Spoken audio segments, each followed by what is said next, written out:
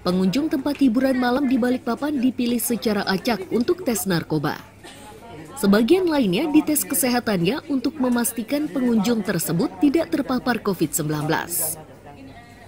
Ini dilakukan setelah kota minyak kembali masuk zona merah penyebaran COVID-19.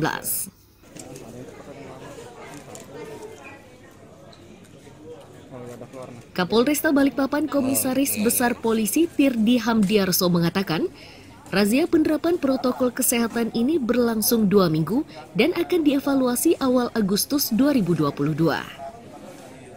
Razia ini pun dimaksudkan untuk mengantisipasi gangguan keamanan di tempat hiburan malam. Melaksanakan kegiatan itu yang pertama eh, kita menginginkan kondisi balapan yang tetap kondusif.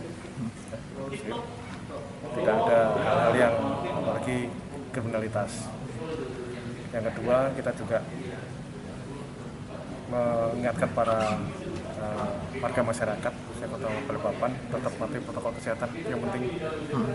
karena memang itu yang tadi disampaikan pada saat ini tadi Pak Asisten satu maupun Pak Kasatpol PP kita tetap harus patuhi protokol kesehatan di semua tempat ya